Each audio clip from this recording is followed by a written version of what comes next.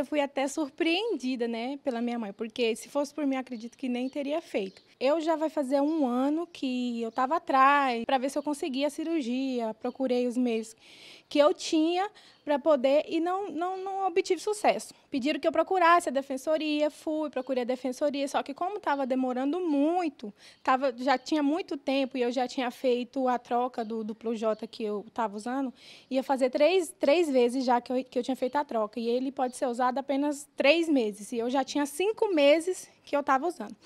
Então, devido a isso, já já estava um processo de uma infecção já muito forte. E aí a minha mãe me surpreendeu e fazendo a rifa, todo mundo ajudou, todo mundo uniram forças, na verdade, né? E aí foi onde a gente conseguiu fazer. Hoje eu já fiz, já consegui a cirurgia da retirada da pedra dos rins, que no caso ela estava colada no, no, no, canal e não saía. E eu fiz vários processos, fiz processo da quebra para tentar quebrar a pedra nos rins e não, não teve sucesso. Foi virando uma bola de neve e aí há quase um ano eu correndo atrás, eu tentando não conseguir, graças a Deus e minha mãe e todo mundo que, que colaborou, eu consegui fazer. Bom, e agora eu deixo o espaço aberto para você agradecer, então, aí toda a população do município, todo mundo que contribuiu com essa rifa.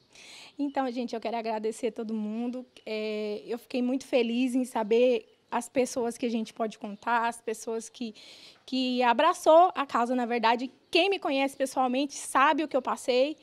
E eu quero dizer que eu estou muito grata e que podem sempre contar comigo.